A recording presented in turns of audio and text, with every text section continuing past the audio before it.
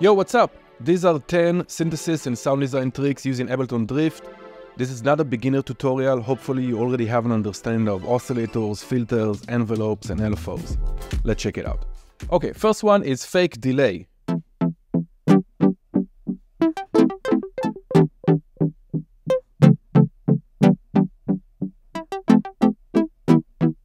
So uh, what you heard here sounds like delay, but this is only the drift uh, synth. There's no sense, no nothing, no effects.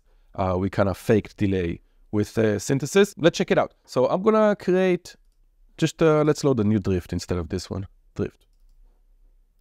Okay, default sound.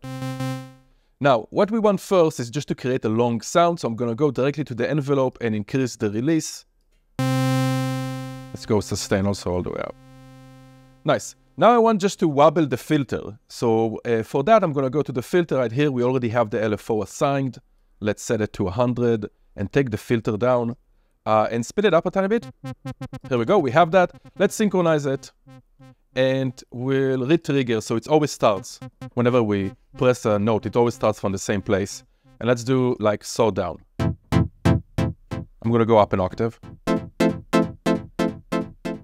Okay, Nice. Now let's uh, make this uh, modulation kind of decrease over time to mimic this delay sound, which already sounds like a delay sound. I want it to be shorter. So I'm going to take envelope number two, and I'm going to apply it to the amount of the LFO modulation. Let's go like this, and let's set it up. Maybe something like this. I'm going to set the release and decay to the same length, roughly. So even if I hit the note short, or have a long MIDI note, it's going to be the same delay sound. Here we go. Nice. So that's the effect delay. Let's move on.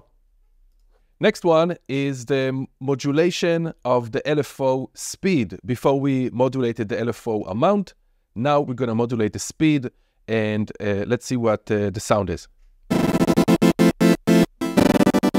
I also have my um, modulation wheel here. Let me open up the keyboard so we can see actually what I'm playing and doing. But we have here uh, also my mod, wheel that uh, repitches everything.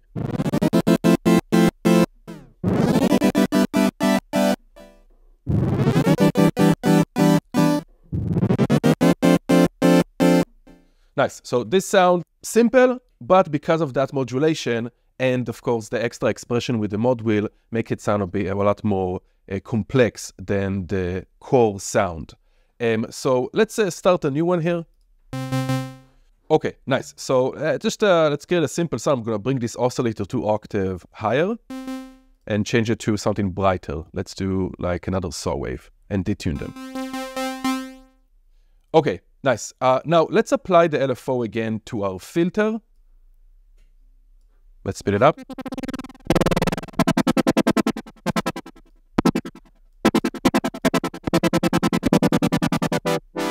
Nice, so let's take the LFO and make it slow down. So I want this to just move down. So I'm going to take, again, envelope 2.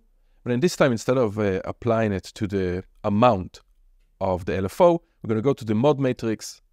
We're going to take our envelope 2 and apply it to the speed of the LFO or the rate. Nice. Now this is the amount, so it's really up to us. And let's, let's first set the envelope because uh, we want it to be just with decay and this is how long it's going to take to slow down. Let's do even more slowing down. Let's start it a bit uh, slower. Oh.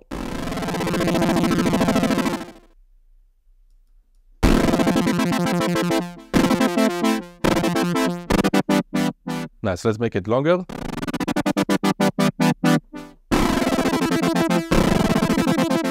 Let's uh, retrig the LFO. Here we go. Nice. And maybe we'll change to square. Let's also take the pitch modulation, do with the LFO as well, just change the pitch, and I'm going to do 50%, which is an octave. And right now, everything is sounding just an octave higher because of that filter uh, gating as well.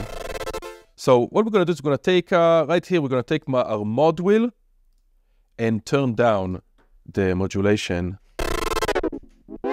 and the pitch in the in the same uh, space. And we'll put some uh, stereo.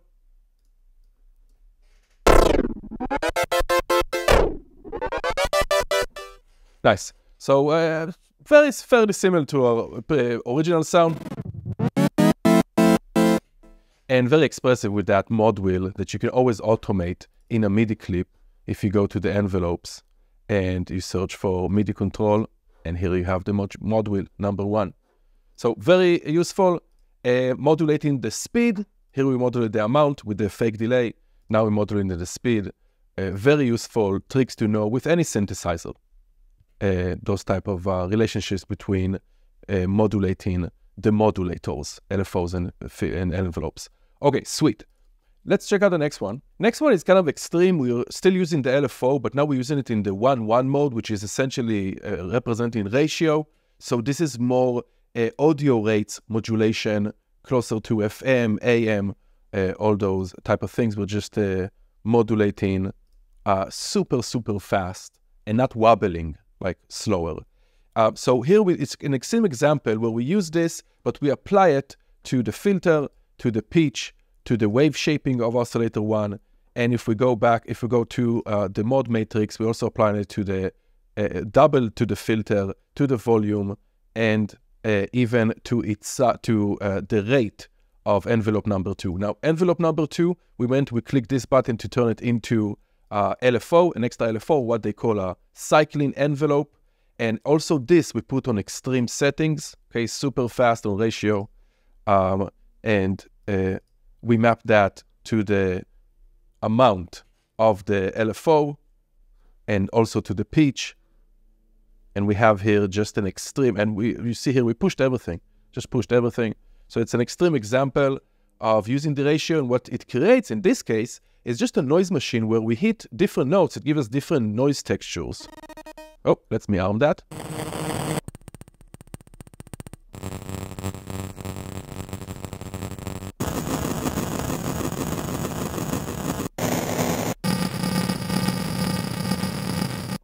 And anything we change here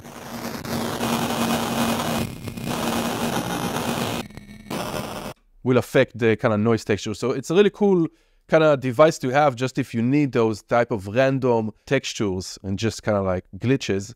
It's a great trick, but just an example of taking the ratio or taking any synth and completely pushing it to the extreme to see what kind of weird results you're going to get.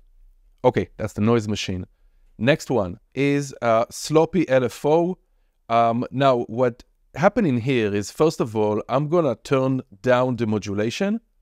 Okay, and right now what we have is a sound that is just going eighth note, uh, wobbling the filter. Let's listen.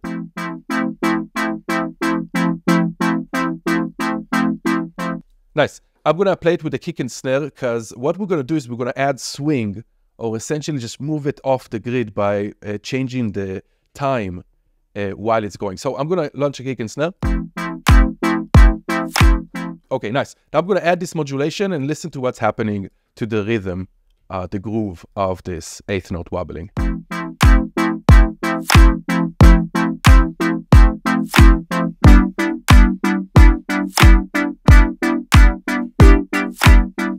Okay, so we can hear it's kind of a bit more shuffled or swung.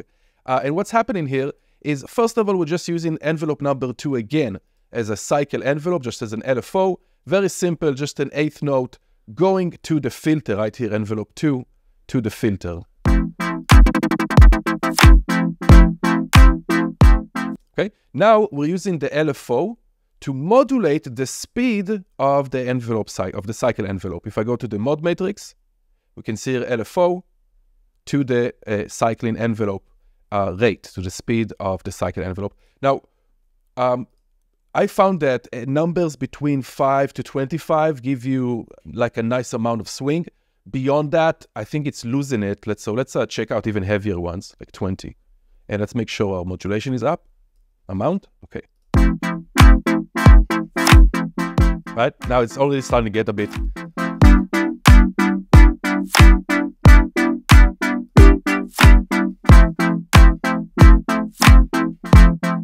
Anyway, we swing inside the synth I love this technique, but essentially we're modulating two LFO speed with another LFO. Uh, here uh, we have this eighth note, and this is the kind of half the time or quarter notes, the higher division um, right here. But experiment with all kinds of modulating times. Okay, that's uh, up to you, just to kind of show you this uh, trick here. Nice. Let's check out the next one. Okay, next one is using the LFO as an envelope. So we can change the LFO to a linear or exponential envelope, which would just give us kind of like an attack and decay, a quick attack decay uh, to the modulation, whatever we want to modulate. So let me remove the modulation here, just so we can uh, hear what is happening. And I'm going to bring up, this is the sound. Oh, let me arm it. Let me go. Here we go. Kind of like a sub sound. Okay, let's add some uh, modulation of the LFO, which is essentially just acting as a very simple AD, attack decay envelope right now. And I'm also going to do it to the pitch. Okay, I'm just going to give you kind of this uh, kick sound. I also take envelope number two in this case and very slowly turning down the pitch to emulate more of a uh, 808.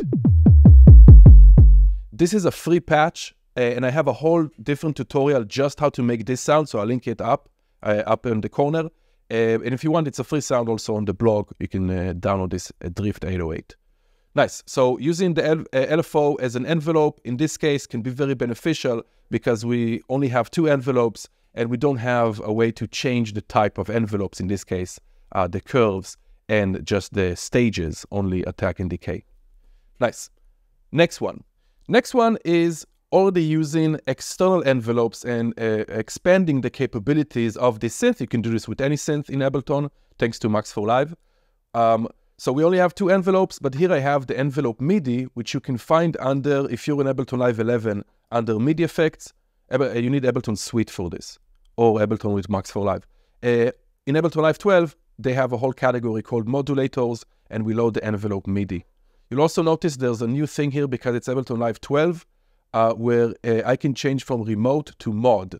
Mod will be modulator, so it won't take control over the actual control. So you can see I can still control it, and it's going to change it, modulate it uh, according to its position. If I change it to control, this is the old school way, like Ableton Live 11 and prior, of modulating uh, parameters. Modulating, this is taking over control. Um, so let's say cancel that. And let's first of all see what we have here. So we're using the LFO again as a ratio. And if you are using it for something more um, with pitch, okay, with uh, harmonic pitch, not dissonant so much, I would recommend using only a quarter, half, one, two, three, four, and so on. So let's see what we got here. Oh, let's take. Yeah, so we got just a kind of a super nasty sound here. Just a low octaves, two oscillators. And we have the LFO. Let's turn this off right now. Turn this off. Okay. Alright, so we just have like a, uh, this basic sound that I push the volumes into the filter with some noise. And if I close the filter, it's just like a very, uh, very thin sub. Now, if I add this FM modulation to the filter,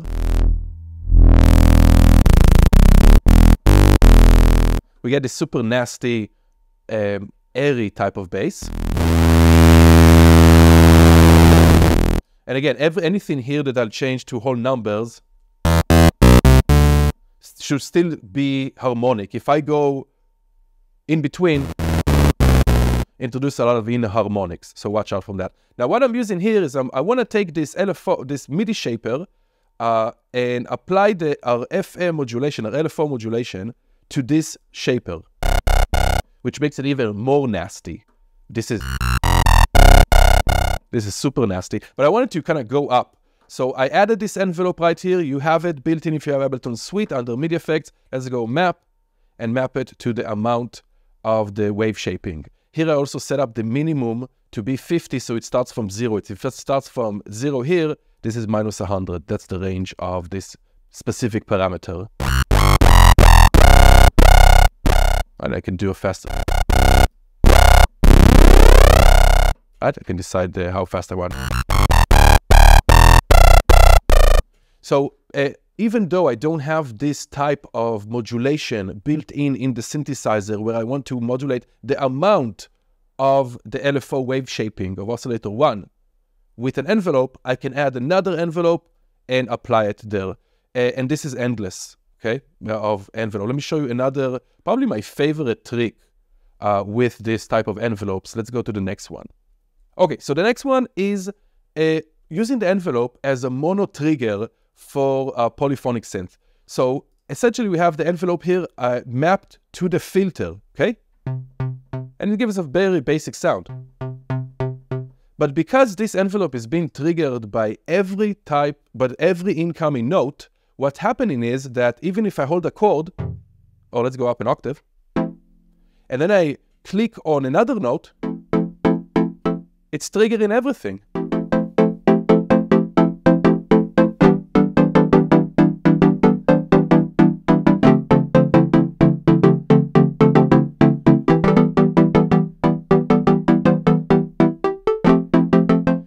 Anyway, I love this so much. This is an awesome trick. You could do it with any synth, but thanks because this envelope uh, limitation uh, creates this. I love this type of beautiful plane of just holding a chord and letting the melody being harmonized uh, with the chord. So uh, this is mono trigger with the envelope. There is one extra trick here. Uh, this one is using the expression control. Now this is the one that you will have in Ableton Live 11. It looks slightly different in Ableton Live 12, but the concept is the same in there, you can find um, the option to use random. Random will randomize every time you click a new note. Okay, it's gonna randomize. I map these to whatever you want. I mapped it to the shape and to the detune of oscillator 1 and 2, respectively. Uh, and I also uh, changed the ranges so they fit with that parameter. I didn't want the detune to go too much. And of course, the shape, I didn't want to go too high. So now so the uh, um, randomizing every time a new note uh, comes in, which emulates tiny bit more that analog uh, vibe where it's real world circuits, right? Analog circuits. So we have this unpredictability, which we can emulate with some randomization. Uh, of course, I would recommend doing many more parameters, but it's just uh, an example. Last one, maybe according to the name you can tell, but uh, it's a basic patch with envelope follower. That's all. It's like super easy to set up. That's the sound.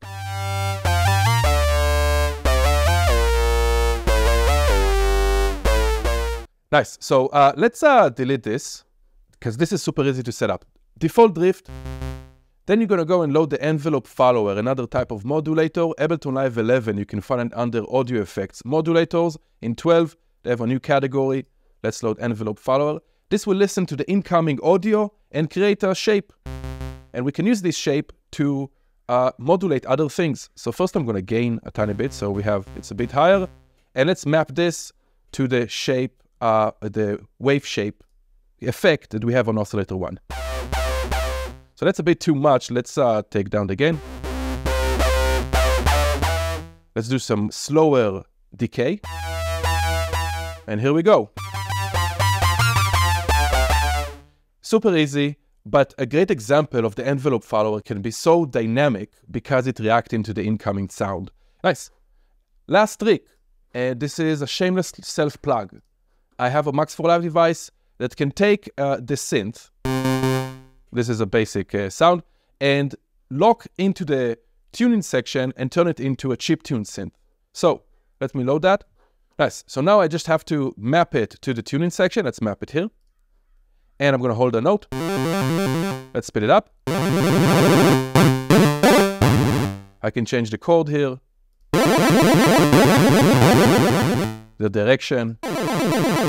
I can slow it down and speed it up, synchronize or unsynchronize. Okay, super fun. You can use it with Wavetable and other synthesizers. Uh, I have a whole video about just this you can check out. And those were 10 or more with that expression control tricks, synthesis and sound design tricks with Ableton Drift.